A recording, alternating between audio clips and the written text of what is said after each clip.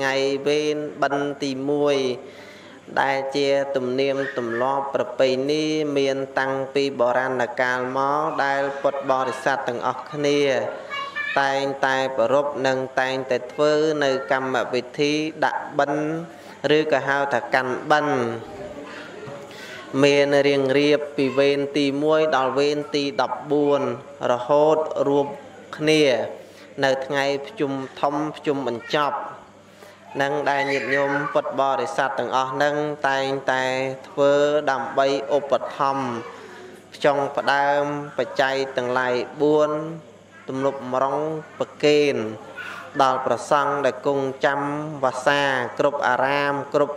វត្តនៅក្នុងទូទាំងប្រទេសឬក៏ក្រៅប្រទេសឲ្យតែមានប្រសង់គឺតែងមានញាតិញោមពុទ្ធបរិស័ទនឹងប្រពធ្វើនៅកម្មវិធី នឹងដាក់បិណ្ឌនឹងប្រជុំបិណ្ឌនេះហើយនៅក្នុងឆ្នាំនេះផងដែរដោយមានបញ្ហាជំងឺ Covid-19 បានវាយប្រហារលើពិភពលោកធ្វើឲ្យរំជើបរំជួលនិងទូទាំងសកលលោក មានបញ្ហារាំងស្ទះនៅសេដ្ឋកិច្ចអីយ៉ាងម្ដេចម្ដាក៏ប៉ុន្តែអ្នកស្រឡាញ់និងគោរពជឿ ជាក់ជ្រះថ្លាក្នុងព្រះពុទ្ធសាសនានៅតែឆ្លៀតនៅតែប្រឹងប្រែងក្នុងការបំពេញបុណ្យក្នុងការបំពេញកុសលមិនដាច់ព្រោះយើងទាំងអស់គ្នាជាពុទ្ធបរិស័ទនឹងតែងតែឲ្យតម្លៃតែងតែគោរពតែងតែស្ញប់ស្ញែងចំពោះសាសនាមួយនេះចឹងហើយទោះជាសេដ្ឋកិច្ចអន់ថយទោះជាសេដ្ឋកិច្ចនឹង វាមានការខ្វះខាតចំណូលតិចតួចអីមួយដេចយ៉ាងណាក៏នៅតែអាចធ្វើបាន ខ្លួនឯងនឹងក៏រស់នឹងតាមសំគួរលមមទៅថែមទាំងអត់ពីមាត់បង្រត់ពីកបិចបោចយកមកបំពេញបុណ្យបំពេញកុសល មួយអន្លើក្នុងថ្ងៃនេះ ឆ្នាំនេះកាន់បិណ្ឌនឹងក៏នៅតែធ្វើដូចធម្មតាហើយឋានៈដឹកនាំក៏បានអនុញ្ញាតឲ្យយើងនឹង ធ្វើបន់កាន់បិណ្ឌឬក៏ដាក់បិណ្ឌនេះទៅតាមប្រពៃណីទំនៀមទម្លាប់ដូចសពមួយដងសពឆ្នាំអញ្ចឹងហើយក្នុងវេលាឱកាសនេះផងដែរអាត្មាភាពកុំឲ្យអូបលាយពេលវេលាវែងឆ្ងាយកាន់តែទៅមុខនោះថ្ងៃនេះញាតិញោមពុទ្ធបរិស័ទឃើញអាត្មាទាញកម្ពីមកធំសម្បើមណាស់ញោមធំក៏ធំក្រាស់ក៏ក្រាស់តាំងពីចេះទេសនាមកអាត្មាមិនដែល ទេសនាមើលកពីអដែលទេសនាអានកពីអីយ៉ាងម៉េចទេ មើលចាំបណ្ណាចាំគាថាយល់បែកអាចអធិប្បាយស្រាយពាក្យស្រាយសម្ដីយកគាថាចំណុចកលែងណាពិសេសសំខាន់ចែកជូនញាតិញោមពុទ្ធបរិស័ទដោយមតទេហើយថ្ងៃនេះអាត្មាភាពនឹកឃើញទៅដល់បរមបរាណកាលមក កុំឲ្យវាបាត់ដានវេនទី1នេះយកកាពីអាធំតែម្ដងហ្នឹងហើយយកកាពីធំតែម្ដង ដាក់ពីមុខហើយដាក់មិនមែនដាក់ប្រអួតទេគឺដាក់យកមកអានណាញោមហ្នឹងហើយដាក់យកមកអានអត់ចាំបាញ់ពិបាកបន្ថែមបន្ថយបញ្ចេញបញ្ចូលអីច្រើនទេហ្នឹងហើយតែបើកន្លែងណាញាតញោមស្ដាប់អាត្មាអានទៅក្រែងមិនយល់ញាតញោមអាចលើកដៃមកដេគុណឈប់អានមិញកណាអត់ យល់ទេចាំសួរមកណាញោមហ្នឹងហើយហើយបើសិនជាញោមសួរអញ្ចឹងទៅអាត្មានឹងអត់ចេះបច្ចៈដែរអត់ចេះបញ្យល់ដែរនឹងអានទៅមុខណាញោមហ្នឹងហើយអញ្ចឹងក្នុងអឺសិភៅនេះផងដែរគឺអាត្មាភាពឃើញចំណុចមួយវាតេតិនទៅនឹងកម្មវិធីរបស់ញាតិញោមពុទ្ធបរិស័ទតែងធ្វើ មិនថាថ្ងៃនេះឬក៏ថ្ងៃមុនមុនទេ គឺយើងតែងតែធ្វើហើយការដែលធ្វើប៉ុននោះសោតទៀតគឺមិនមែនធ្វើដោះចោះគោលដៅមកលើខ្លួនឯងទេដោយសំខាន់នោះគឺយើងធ្វើឧទ្ទិសឬក៏បាញ់ឈ្មោះសំដៅទៅរកញាត ឬក៏បពការីជនដែលបានបាក់បែកចែកឋានទៅកាន់លោកខាងមុខ ជាពិសេសសោតក្នុងថ្ងៃនេះសំបីតែការធ្វើបុណ្យដាក់បិណ្ឌនេះទៀតក៏ធ្វើដើម្បីរំលឹកនឹងការដឹងគុណទៅដល់ពពៈបរោះឬក៏បពការីជនមេត្តាបិតាជាដូនជាតាញាតិកាដែលបានបាក់បែកចែកឋានទៅកាន់លោកខាងមុខហើយនោះអញ្ចឹងកាលណាឲ្យតែមានតែការរលឹកគុណឬក៏ការធ្វើទៅដើម្បីឧទ្ទិសមគ្គផលទៅដល់បពការីជននោះលោកឲ្យឈ្មោះថាតក្ខេណានុបទាន នឹងឬក៏ហៅថាធ្វើបុណ្យដើម្បីបញ្ជូននៅមគ្គផលនេះចំពោះញាត ដែលបានបាក់បែកចែកឋានទៅកាន់បរិយលោកខាងមុខផងនិងដើម្បីជាបុណ្យជាកុសល ជាកំណប់ទ្របខ្លួនឯងដែលកំពុងមានជីវិតរស់នៅនោះផងដើម្បីដកស្ពាយយកទៅកាន់លោកខាងមុខហ្នឹងឯងអញ្ចឹងការដែលយើងធ្វើបុណ្យធ្វើទានឧទ្ទិសជូនចំពោះលោកអ្នកដ៏មានគុណ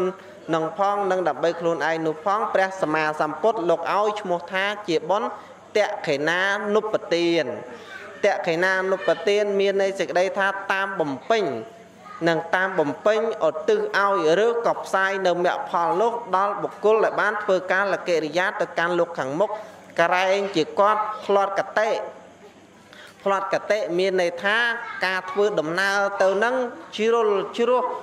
ទៅកើតក្នុងទីដ៏ថប់ទាបកតេកតេហ្នឹងប្រែថាដំណើរណាបងណាធ្វើដំណើរទៅកាន់ទីដ៏ថោកទាបដោយអំណាចនៃបាបកម្មពេវរាកាលពីនៅរស់ធ្លាប់ឆ្លោះធ្លាប់ទាស់ធ្លាប់តែងខ្វែងគំនិតជាមួយនឹងអ្នកចិត្តខាងឬបង្កគ្រោះភ័យចង្រៃឧត្តបាតប៉ះពៀដល់អាយុជីវិតកេងប្រវាញ់អ្នកដតីក្តីណាព្រោះតែក្រុមគ្រួសារព្រោះតែកូនព្រោះតែប្រពន្ធ នឹងឬក៏ក៏ព្រោះតែជីវភាពអីចឹងទៅ បានធ្វើនៅ បាបកម្មពាវរាផ្សេងផ្សេងដល់ពេលស្លាប់ទៅផ្លត់កតិធ្វើដំណើរកើតក្នុងទីដ៏ថោកទាបយ៉ាងដូច្នោះហើយកូនចៅ ដែលជាសាច់ញាតិសន្តាននៅមានជីវិតនេះក៏តែងតែសង្គ្រោះដល់ជនដែលបានធ្វើការលកិរិយានោះទៅ គឺដោយការធ្វើតក្ខេណានុបទានលោកឲ្យឈ្មោះថា តាមបំពេញឧទ្ទិសឲ្យនៅ បុណ្យនៅកុសលចំពោះបុគ្គលដែលស្លាប់ទៅនោះអញ្ចឹងបុគ្គលដែលស្លាប់ទៅហើយនោះឯងដែលយើងអាចបញ្ជូនមគ្គផលទៅបាន វាតលតែប្រកបព្រមទៅដោយហេតុ3យ៉ាងឬក៏ហៅថាអង្គទាំង3និងអង្គទាំង3បានបានដល់ញាតដែលបានចែកឋានទៅកាន់បរិយលោកខាងមុខនោះ បើវាលែងនៅអង្គទាំង3នោះហើយ ធ្វើនឹងអត់បានមគ្គផលដល់ជីដូនជីតាបពការីជនលោកអ្នកមានគុណស្រាប់នោះបានទេ អង្គទាំង3នោះព្រះសម្មាសម្ពុទ្ធព្រះអង្គទ្រង់ប្រកាសសម្ដែងថាតខេណយសម្បទាយៈយើងក៏បីបំពេញបុណ្យបំពេញកុសលឬក៏ការថ្វាយទានបច្ច័យទាំងឡាយ4ដល់តខេណយបុគ្គលគឺអ្នក ដល់ព្រមដោយសិលដ៏បរិសុទ្ធមានលោកអាចារ្យយាយតារក្សាសិល5ចាំសិល8វិសេសវិស័យអង្គណាភិក្ខុសាមណេរគឺជាអ្នកត្រត្រង់សីលាចារវត្តដែលហៅថាជាសង្សាវៈរបស់ព្រះដ៏មានប្រភិយនោះនេះហៅថាតក្ខិណយបុគ្គលសំគួរដល់ពុទ្ធបរិស័ទធ្វើបុណ្យធ្វើទានជាមួយលោកហើយដើម្បីបានបុណ្យបានកុសល នឹងអង្គទី1អង្គទី2នោះទាយកាណੰឧទ្ទិសសេនៈនឹងហើយទាយិកានឹងឧទ្ទិសសេនអ្នកសំដៅទៅលើទាយុទាយិកាឧបាសកឧបាសិកានឹងឯងផ្ទាល់ក៏បីនឹងឲ្យទៀនដោយដៃផ្ទាល់ខ្លួនឯងឲ្យទៀនដោយគោរពឲ្យទៀនដោយមិនបោះចោលឬក៏មិនបោះកវែងដោយការថ្នាំងថ្នាក់បកាណាគឺឲ្យទៀនដោយគោរព នឹងឲ្យទៀនដោយគោរពប្រកបព្រមទៅដោយហត្ថបាសអីជាដើមនោះហ្នឹងហើយអញ្ចឹងទាយកានឹងឧទ្ទិសសេនអ្នកកាលណាដែលយើងបានឲ្យហើយដោយសេចក្តីគោរពគប្បីឧទ្ទិសចឹងហើយបានបាញ់មិញនេះឃើញយាយឃើញតាឃើញក្មេងឃើញចាស់ខំប្រឹងអុជធូបនិងបងសង្រងនឹងដឹងមកចំអួចចំអួចថាមិនទេអំបញ្ញមិញនឹងនោះឃើញអុជធូប ហ្នឹងហើយរលឹកនឹកគុណហៅជីដូនជីតាថ្ងៃនេះកូនចៅបានមកវត្តថ្មីវេនកាន់បិណ្ឌទី1ហ្នឹងសូមលោកអ្នកទទួល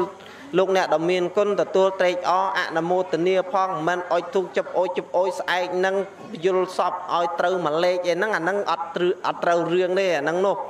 ហ្នឹងហើយអញ្ចឹងឧទ្ទិសសេនអ្នកសំដៅថាធ្វើបុណ្យហ្នឹងឧទ្ទិសជូនចំពោះគាត់ដោយទាយុទាយិកាបុគ្គលផ្ទាល់ជាញាតិហ្នឹង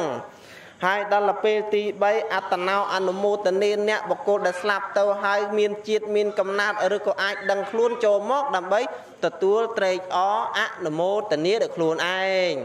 មែនកូនចៅធ្វើទានចំពោះលោកអ្នកមានសិលហើយកូនចៅគេខំប្រឹងឧទ្ទិសវោកវោកទៅហើយនោះ កូនចៅគេខំប្រឹងអំពាវនាវរកហើយក៏ប៉ុន្តែមិនដឹងថាឯងទៅកើតកន្លែងណាកើតជាឆ្កែជាឆ្មាគូដំរីទាមន់ជ្រូកអីណានៃនោះអានោះវាអត់បានទេឬក៏កើតនៅក្នុងនរកប្រែតអសូរកាយណាដោយជ្រៅហួសដែនកំណត់នៃការទទួលបានអានឹងក៏អត់បានដែរអាហ្នឹងហើយអញ្ចឹងកំណាត់ដែលអាចទទួលបាននោះគឺពុទ្ធព្រះអង្គសម្ដែងថាបរតតោបជីវកៈប្រែតដែលកើតនៅក្នុងកំណាត់ដែលរស់នៅលើផែនដីនេះ អាចដឹងអាចលឺអាចនៅសម្គាល់ថាផ្ទះនេះអញធ្លាប់នៅញាតនេះអញធ្លាប់ស្គាល់អ្នកនេះឯងត្រូវជាញាតនិងត្រូវជាមិត្តត្រូវជាសន្តានរបស់អញធ្លាប់ជាវងតកូលរបស់អញផ្ទះនេះអញធ្លាប់នៅកន្លែងនេះអញធ្លាប់អាស្រ័យ